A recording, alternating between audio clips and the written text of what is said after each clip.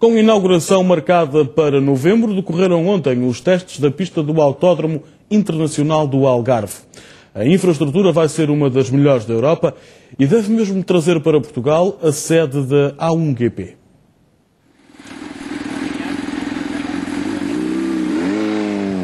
Ainda faltam quatro meses para a inauguração oficial, mas já o piloto da casa se começa a fazer à pista. Sem competição, mas a quase 300 km por hora, Miguel Praia testou os níveis e os desníveis de um circuito preparado para 64 versões diferentes, com declives muito acentuados. Não é realmente qualquer circuito que atinge esta velocidade. Os circuitos uh, normalmente que têm sido construídos ultimamente são circuitos muito lentos, mas este circuito, a grande vantagem é que tem um pouco tudo.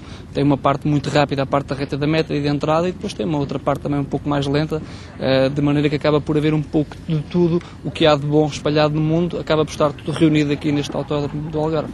O circuito, que em novembro vai já receber o Campeonato do Mundo de Superbikes, está homologado para todo o tipo de desportos motorizados, incluindo Fórmula 1.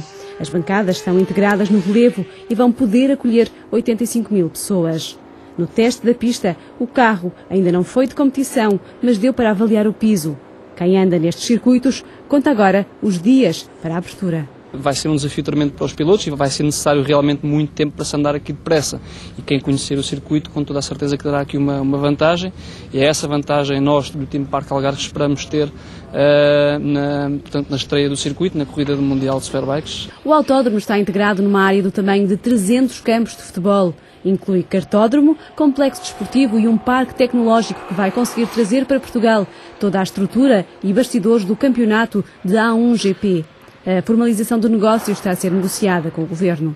A 1GP é um campeonato, é uma taça das nações, em que todos os países uh, têm um carro com as suas cores e que correm para disputar esse, essa taça das nações, precisamente. Em Portugal tem uma equipa, com o piloto Filipe Albuquerque, e aquilo que nós iríamos fazer é trazer toda a estrutura, toda a fabricação e assemblagem desses carros para Portugal. O Autódromo Internacional do Algarve é um investimento de 200 milhões de euros e vai dar emprego direto a 1.500 pessoas. As reservas para apresentações e testes de marcas e equipas já estão esgotadas para este ano e início do próximo. O espanhol Carlos